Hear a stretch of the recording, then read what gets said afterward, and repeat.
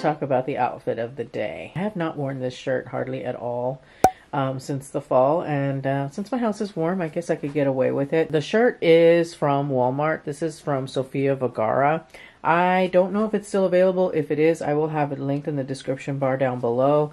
And then I am wearing it with my uh, free assembly pant, my corduroy pull-on pant, and I'm wearing my black loafer mules from Sam Edelman. Like I said, I hadn't worn this little top in a good long while, and I was going through my closet trying to find what to wear, and this one popped out at me. And I tend to wear just whatever I have in the clothing rack behind me. What I need to start doing, I think, is bringing out stuff for the week and having like kind of like just what I might want to wear during the week on the rack so that I make sure to wear everything that I have uh, because I really like this little top. I think it's very cute and I don't wear it enough. On my lips, I am wearing the Maybelline Color Color Sensational Shine lipstick. I'm just making up names. I think that's what it's called.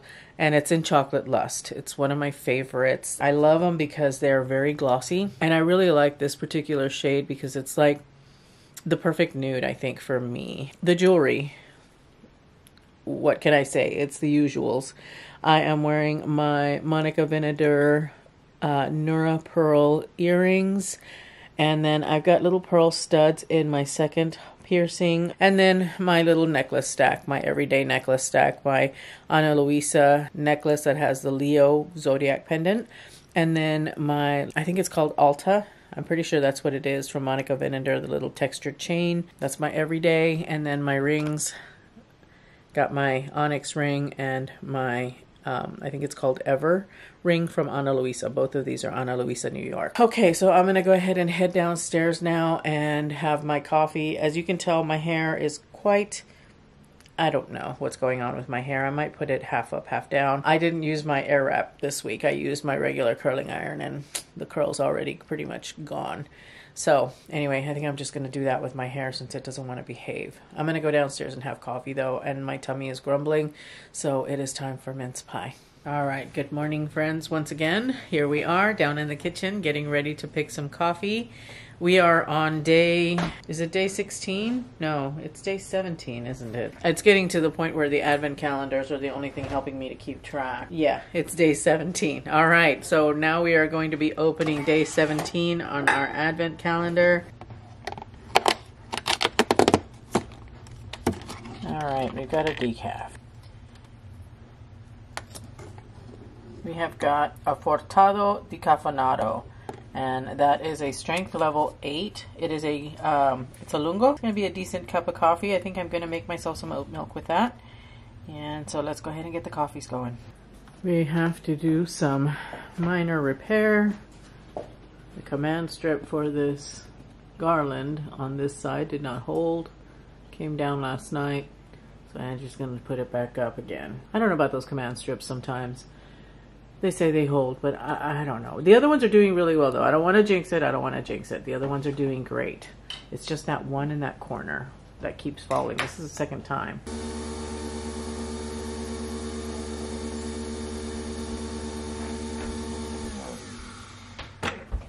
All right, so another oat milk latte with a Fortado, which I've tried it once, I think, or twice maybe. Pretty strong coffee if my memory serves. Yeah, but pretty darn good anyway. All right, I'm gonna have my mince pie, my coffee, and I will talk with you guys again in a little bit. It just occurred to me that I have not walked you through what is on deck for today. So I have got editing, editing, and more editing. We're also going to be doing a lot of baking today. We have a pretzel, an Auntie Anne's pretzel mix that Angie picked up when we went to the mall a couple of weeks ago, maybe three weeks ago now. We've got to make pretzels, and I think some of them are going to be gifted to the neighbors. We're also going to be baking, or I'm going to be baking cookies um, for the neighbors for their little gift baskets this year. We're giving them, we're calling it our favorite things. We're giving them um, some chocolate chip cookies because I love chocolate chip cookies. And Angie's making them some of her popcorn, which is amazing. I love her popcorn. She makes the best popcorn. I think I'm going to order groceries here in a little while. We are low on some produce and uh, lunches, things for lunches. So I've got to pull together a grocery list. Um, we do grocery pickup. I don't like going into the stores, especially now with a new variant that's floating around. I just don't even know. But anyway, that is what is on deck for the day. First thing though, I've got to get my editing finished and caught up so that that way I can devote all my time this evening to baking cookies. But that being said, let's go ahead and pull the wine of the day. We are on day 17 and let's see what we're going to have for dinner tonight. okay. Ooh, we got a red. Fantastic. a Syrah. I'm on the fence on Syrah, but I love the name of this wine. Good trouble. Yes, absolutely good trouble. That's fantastic. That's awesome. Okay. It has tasting notes of blueberry, olive, and dark chocolate. Ooh, so good. Yum. Hmm. I think that calls for something Italian. So I believe that we are going to have some sort of a ravioli dish with no red sauce, though. I'm making it with sun-dried tomatoes and things like that. I've got a couple of recipes that will fit the bill for that. So, uh, yeah, we're going to have a fantastic little pasta dish tonight.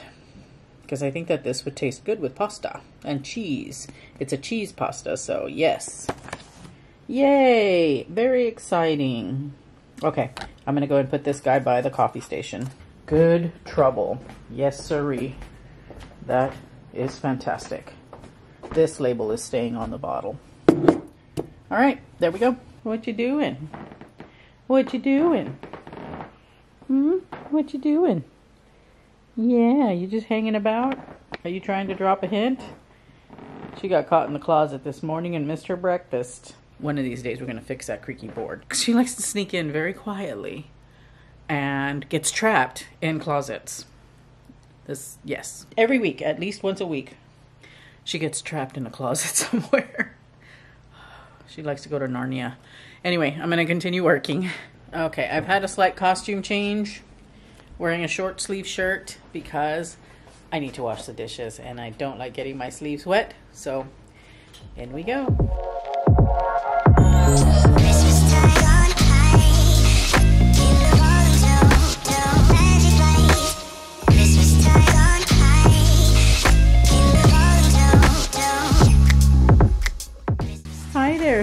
Are you sharing?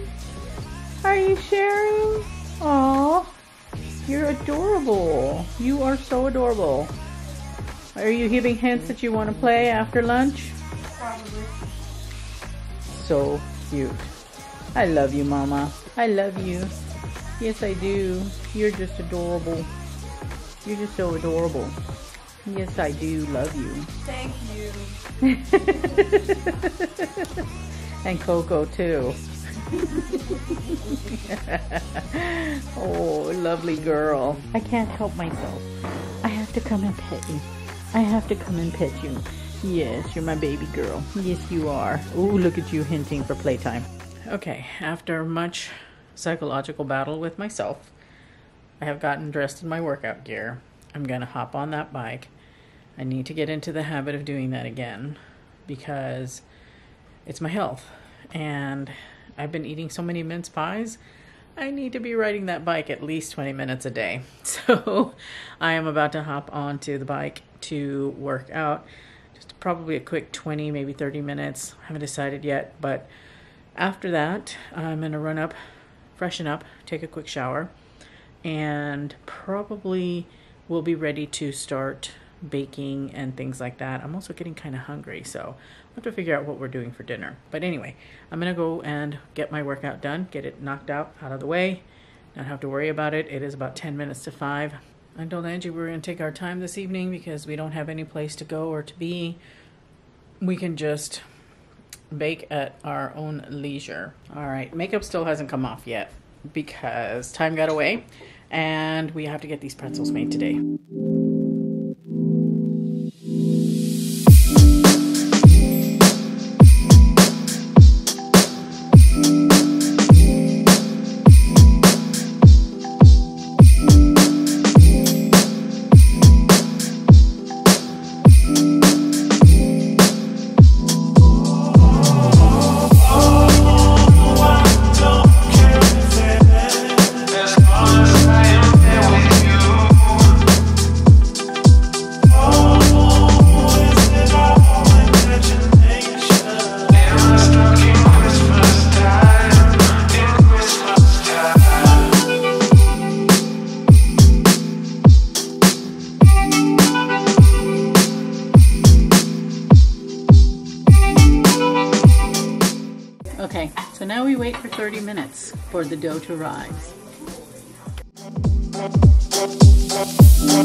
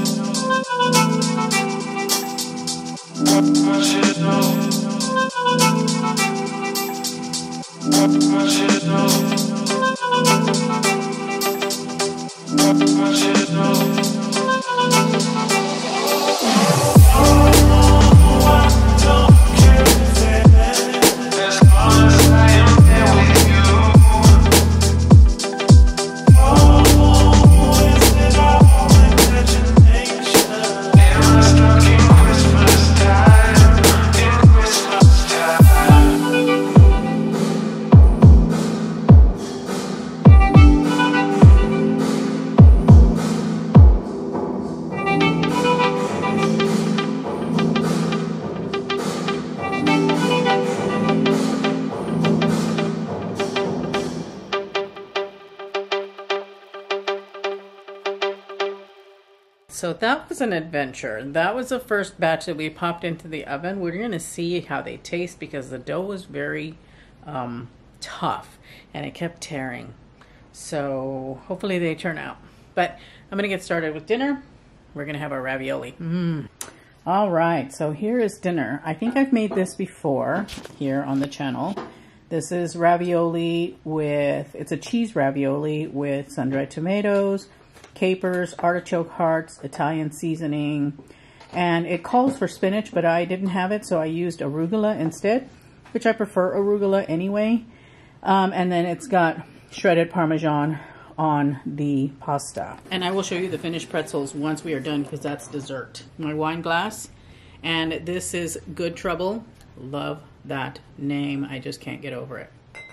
Isn't that a cool name for a wine? Good Trouble. Yep, it's also the name of a website. Yep. So here's the wine. Let's give it a taste. You know what it's in reference to. Mm-hmm. Smells fabulous. Mmm. It I can definitely, definitely taste those notes of dark chocolate in this wine.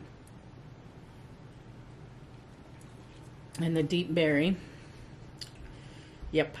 Yeah, I can I definitely catch those notes of dark chocolate. Kind of um, like that bitter sweet chocolate, you know? It's chocolatey and kind of has a little bit of a bite to it. Mm-hmm. Delish. That one's good. All right. And then let's try our pasta. Let's try a perfect bite. Okay, here's my bite.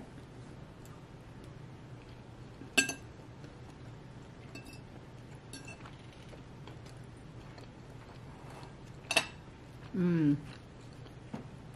I love this pasta dish and I have enough to like feast on it for days.